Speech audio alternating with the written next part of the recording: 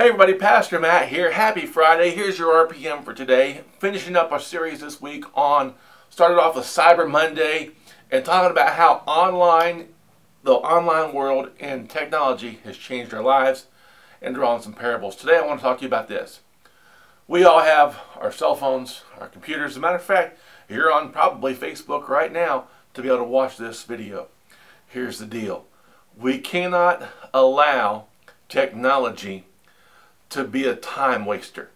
Technology is supposed to be a time saver. But many of us, and my, we've all gotten off on this, and here's just a friendly reminder today. Redeem the time, Ephesians 5.16. Make the most of every opportunity, for the days are evil. And we have to be careful.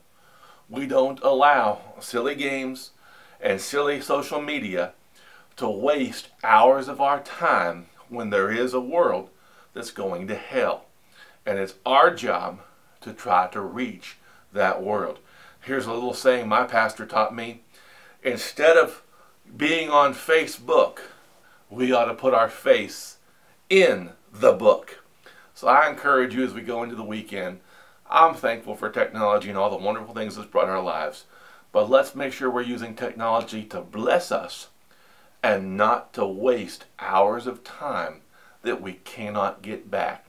Instead of putting hours into Facebook, let's take hours and put our face in the book. I love you. I'll see you on Monday. God bless you. If you like this video, like and share, and follow my dad on Pastor Matt Ministries.